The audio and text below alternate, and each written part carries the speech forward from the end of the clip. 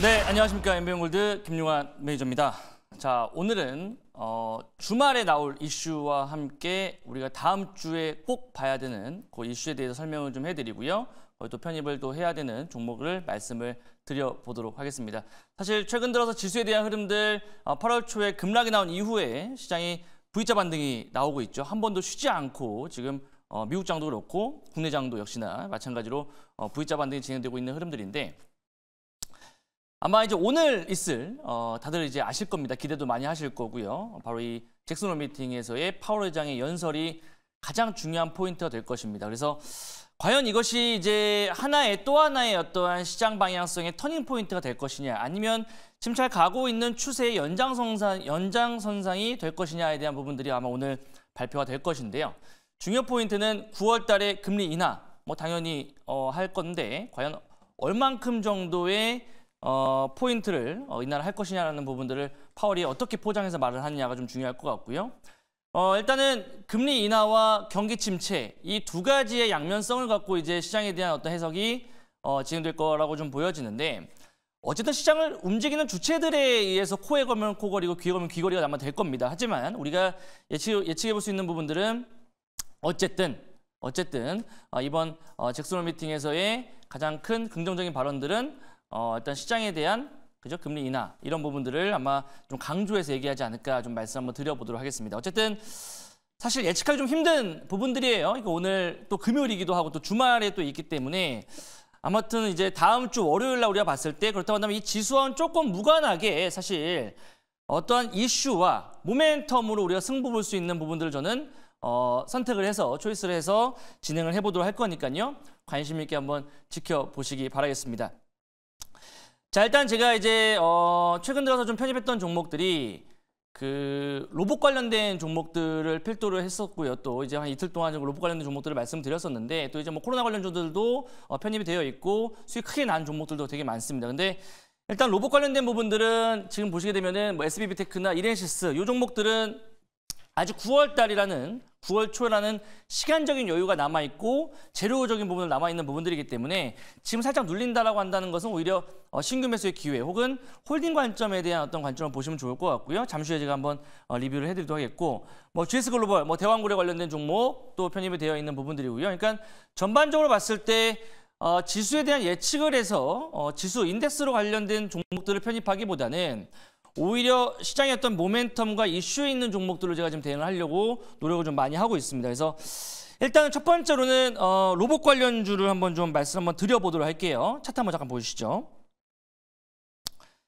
보시죠. 자 보시게 되면은 어, SBB테크예요. 자 일단 제가 여기서 편입하고 나서 바로 그날 그 다음 날 26% 급등이 나왔죠. 가볍게 1,800가 수익 실현 했는데 이틀 눌려주고 있습니다만은 오히려 저는 이 종목은 만약에 이때 못 사신 분들이라고 한다면 9월 초에 이 보픽 관련된 어떠한 이슈를 본다라고 하면 한 종목 정도는 포트에 편입해 두시는 게 좋겠다. 그렇다고 한다면 지금의 눌림목 자리는 어, 이틀 동안 눌림 이후에 한 차례 한 번 더 양봉이 나올 수 있는 어, 그런 자리라고 좀 보여집니다.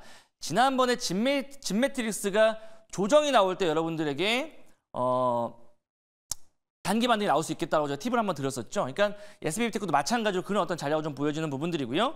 자, 그다음에 이렌시스라는 종목을 한번 볼게요. 이렌시스도 역시나 마찬가지입니다. 어제 편입을 하긴 했습니다만 지금 이 구간대부터 하나, 둘, 셋, 넷, 다섯, 여섯, 일곱 오늘까지 7거래 양봉이 나오고 있습니다. 그래서 일단 이 구간대에서의 지금 어, 가격 라인대를 지지해주고 있는 흐름들이기 때문에 역시나 9월 달에 있을 이벤트를 앞두고 어, 어느 정도는 가격을 방어를 잘 해주고 있는 부분들이고 어, 뭐 이미 모멘텀과 함께 다시 한번 120원 뚫고 나올 수 있는 그런 자리다라고 좀 말씀을 드려보도록 하겠습니다. 따라서 이두 가지 종목이 이 보핏에 관련된 어, 감속기를 또 공급하는 이온화 공급을 하고 있는 기업이기 때문에 관심 있게 보자고 좀 말씀드리고요. 그 다음 종목 GS 글로벌 한번 볼게요. GS 글로벌. 자, 오늘 쉬어가고 있어요. 어, 차트 이뻐요. 자, 직전 고점을 넘긴 다음에 오늘 거래줄이 음봉. 어쨌든 다음 주에 또 움직일 수 있는 이 대왕고래 프로젝트 관련된 종목이기 때문에 직전 고점 충분히 넘길 수 있다고 판단이 되고요. 2,500과 4,400원은 홀딩 전략 좀 말씀을 드려보도록 하겠습니다. 자, 그러면 오늘 어, 종목에 대해서 좀 말씀을 드려보도록 할게요. 어, 일단은 그동안 우리가 이 테마에서 이 크기로 봤을 때는 어쨌든 미국 대선이 좀 가장 큰 부분들이고요. 어, 과연 트럼프냐 해리스냐에 대한 어떤 어, 부분들인데 거기에 따라서 이제 수혜주가 완전히 다르죠. 그래서 어, 일단 우크라이나 재건주를 제가 공략을 좀 이번 주에 하려고 하는 부분들은 이번 주말에 나올 이슈가 굉장히 중요합니다. 아마 이런 부분이 반영이 된다고 한다면 어, 지지율 집계가 다시 이번 주말 일요일 날 또 돼서 나올 것이고요. 그러면 그거에 대한 반영이 다음 주 월요일부터 또 반영이 될 것이기 때문에 어, 모멘텀이 큰 부분들이 하나가 있죠. 그 잠시 후 제가 자료를 보면서 설명해 드리도록 하겠고요. 오늘 우크라이나 재건주들 중에서 가장 탄력성이 좋은 어, 종목을 하나 좀 말씀을 드려보도록 하겠습니다. 현재가 한번 공략을 좀 해볼게요. 3,645원이고요. 다산 네트워크스라는 종목을 공략을 좀 해보도록 하겠습니다. 코드번호 039560이네요. 039560 다산 네트워크스라는 종목을 현재가 공략을 좀 해보도록 하겠습니다. 차트 한번 보시죠. 제가 재건주들 중에서 가장 좀 좋아하는 종목이기도 한데 사실 이런 자리에서 공략하고 나서 지난번 시장이 깨질 때 이제 손절이 돼버렸어요. 어쩔 수 없이. 근데 어쨌든 이 손절이 된다 하더라도 이 자리에서 첫 번째 매집봉이 바로 이 자리인데요. 이 자리에 시가 라인 대를 전혀 이탈시키지 않고 있죠. 그렇다고 한다면 큰 그림을 봤을 때 하단 라인 대와 상단 라인 대 박스를 이루어지고 있는 흐름들이고 1차적인 매집 이후에 지금 이제 2차적인 상승이 나오려고 하는 자리들이기 때문에 바로 그저께 나왔던 자리가 대량 거래 급등 요 자리가 이제 이 고점을 돌파하려고 하는 자리입니다. 그렇다고 한다면 현 구간대에서는 120선 돌파 이후에 다음 주에 이제 이 구간대를 갭으로 넘을 수 있는 어떤 그런 자리가 되지 않을까 좀 말씀 한번 드려보도록 하겠고요. 어, 일단은 왜 제가 다산 네트워크스를 말씀드리는지 자료만 보면서 좀 말씀을 드려보도록 하겠습니다. 보여주시죠.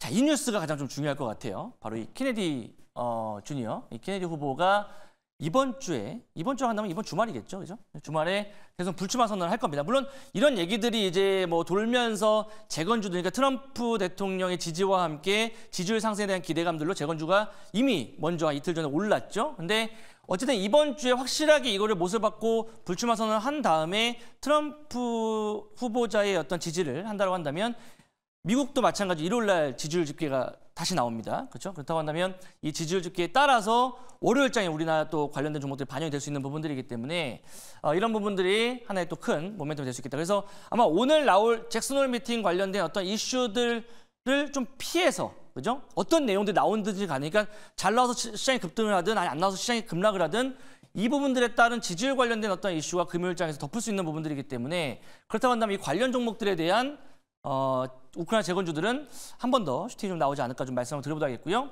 다음 보시죠. 어제죠. 어제 트럼프 대통령이 첫 야외 유세를 했습니다. 귀에 총 맞고 나서 그죠? 그래서 첫 야외 유세를 했는데 가, 거기서 가장 뭐첫 번째 얘기했던 내용이 바로 취임 전에 우크라이나 전쟁을 종료시키겠다라는 얘기를 했어요. 어떻게 보면 굉장히 좀 어, 상징적인 부분들이겠죠. 왜냐하면 어, 어떤 만약에 대통령이 된다라고 한다면 어, 빠르게 업적을 좀 이렇게 할 수 있는 게 바로 이 전쟁에 대한 종식입니다. 그러니까 평화주의 대통령이 될 수도 있는 부분들이고요. 그래서 이런 부분을 반다라고 한다면 트럼프 대통령 트럼프 대통령 후보자가 발언을 하는 부분들이 바로 이런 부분들을 좀 노리고 있지 않나 생각하는 부분들이고요. 어쨌든 우크라이나 전쟁 해결을 만약에 이런 부분들이 해서 주말 동안에 지지율 상승이나 이런 부분 나온다고 한다면 관련 주들 다시 한번 이제 갭 상승이 나올 수 있는 부분들 부분들이기 때문에 지금에서 우리가 이런 종목들을 좀 편입을 해야 된다고 좀 말씀을 드려보도록 하겠습니다. 다음 보시죠.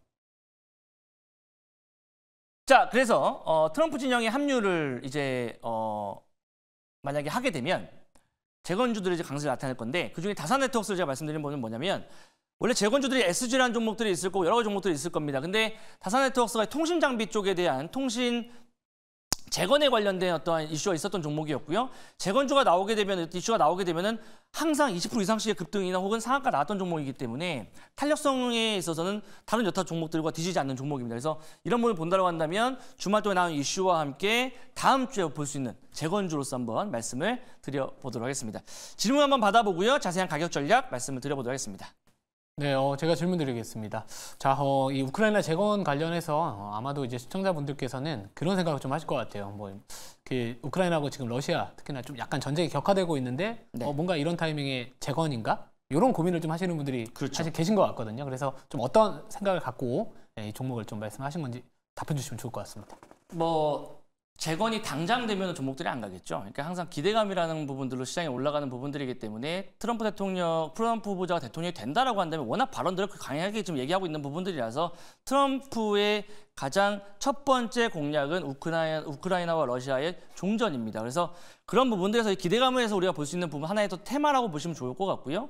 제가 이 종목을 오늘 굳이 어, 금요일장에서 편입한 이유는 어쨌든 오늘 미국장에서는 굉장히 큰 이벤트들이 많이 나와요. 그러니까 어떠한 이런 잭슨홀 미팅이나 이런 부분들이 있기 때문에 그런 걸 좀 피해서 오히려 주말 동안에 또 잭슨홀 미팅 이상으로 또 이렇게 어, 이슈를 덮을 수 있는 이슈가 바로 이 트럼프의 그 지지율 혹은 해리스의 지지율 이런 거기 때문에 이런 부분들에 따라서 제가 오늘 한번 공략을 해보겠다고 좀 말씀드려보자겠고요. 차트 한번 잠깐 보시면 어쨌든 주가도 뭐 부담스러운 자리는 절대 아니에요. 그러니까 이제 뭐 올라가고 있는 자리이기 때문에 현 구간대에서 마지막 남은 요 파란 색 선 241선 이동평균 못 넘었었던 부분들인데 아마 주말 동에 나올 이슈가 잘 나온다고 한다면 이걸 갭을 넘을 가능성도 굉장히 있다고 저는 보여집니다. 그래서 충분히 한번 어, 종가쯤이라도 한번 배팅해 볼 수 있는 그런 종목이니까요. 관심 있게 보시고요. 1차 목표가는 3,950원을 잡고요. 2차 목표가는 6,000원, 손절가는 2,850원을 잡고 대응을 한번 해보도록 하겠습니다.